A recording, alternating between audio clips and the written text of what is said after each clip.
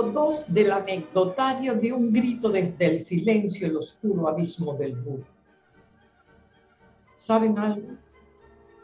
Estos chicos que hacen bullying no prosperarían si no les celebramos la hazaña, porque ellos creen que es una hazaña, que ellos son los malos.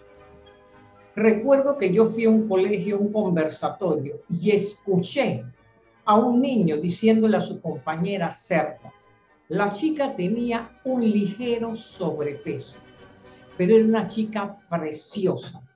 Los ojos eran almendrados, unos ojos verdes. Y le digo yo, quisieras tú tener esos ojos para una fiesta. Y la chica con la autoestima menoscabada me dice, tengo los ojos bonitos. Digo, contéstale. Y el chico le dijo, los tienes muy bonitos. La chica sonríe. Se ilumina la estancia. Qué sonrisa más bonita. Pero siempre estaba triste.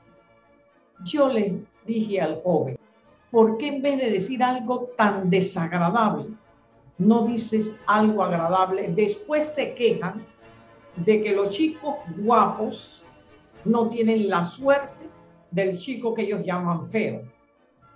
Pero es que ese chico es atento, ese chico nunca dice nada desagradable. La chica se sentó a escuchar el conversatorio, la, el, el lenguaje corporal cambió de tener los hombros hundidos, adoptó una posición de reina.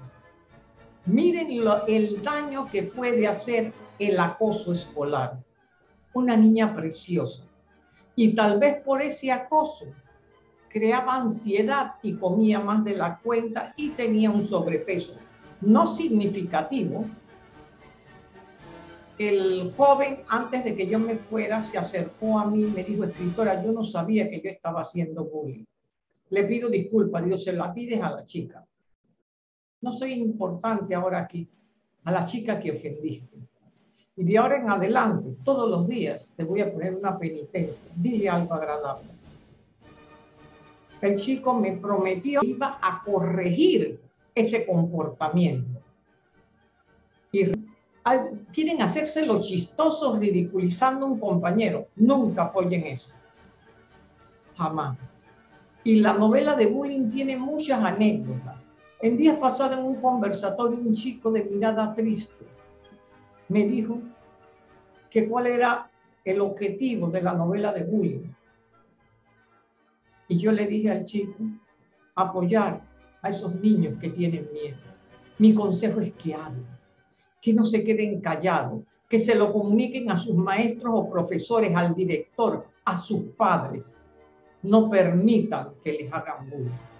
Y lo fui aconsejando. Y de repente yo supe que él era víctima de bullying, pero la tristeza de sus ojos fue desapareciendo. Porque estos niños, estas niñas, estos jóvenes, creen que están solos. No están solos pidan ayuda y la recibirán. Escríbanme a mi correo. El teléfono celular mío lo tiene todo el mundo, está publicado en el internet. Escríbanme que yo los puedo orientar. Un fuerte abrazo y recuerda suscribirte en mi canal de YouTube. Dale clic a la campanita. Recuerda que salen sábado, domingo a las 6 y 29, pero después quedan allí y tú lo puedes ver como video regular. Hasta siempre, un abrazo.